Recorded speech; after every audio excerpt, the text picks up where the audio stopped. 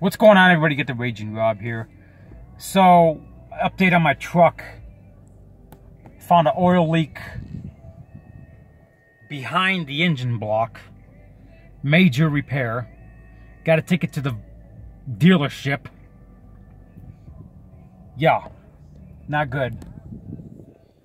It's going to be about a week before I get my truck back. I'm not in Arizona right now. I'm in my Dodge Charger. So I left Phoenix. My truck is in Phoenix, getting fixed.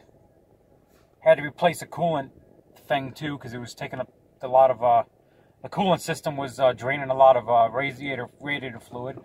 Got that fixed. Uh, got my airline fixed. Had a hole in my airline. Replaced my electrical line because there was a rip in that. Uh, got the one arm fixed. It was kind of loose. Tighten that up. Not the torque arm, the uh, the one arm that goes from the engine block down to the other parts. It was kind of was supposed to be no play in it. It was kind of loose. Had to tighten that up. So the got to take care of this oil leak.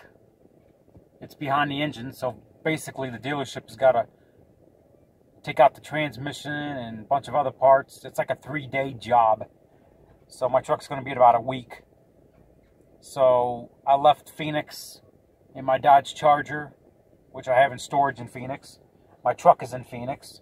I'm in New Mexico right now. I just I'm at a Walmart.